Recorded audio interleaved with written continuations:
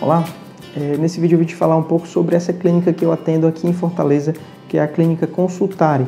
É uma clínica que fica dentro de um hospital, Hospital Central de Fortaleza, que antigamente era conhecido como SOS.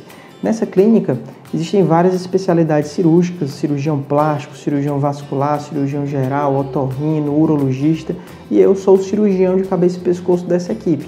Então, nesse hospital a gente consegue fazer cirurgias particulares a preços mais acessíveis então, cirurgia de tireoide, cirurgia de paróstata, de submandibular, de linfonodo, câncer de pele. É, eu faço essas cirurgias aqui a preços mais acessíveis do que a maioria dos hospitais de Fortaleza. Então, eu atendo muito nos interiores e os pacientes que eu atendo no interior eu trago para operar aqui. No final dá tudo certo, porque o paciente consegue resolver o problema sem ter que ficar esperando na fila do SUS. Então, na descrição desse vídeo, eu vou deixar os telefones dessa clínica e o Instagram deles para que vocês acessem lá e conheçam mais caso você esteja precisando.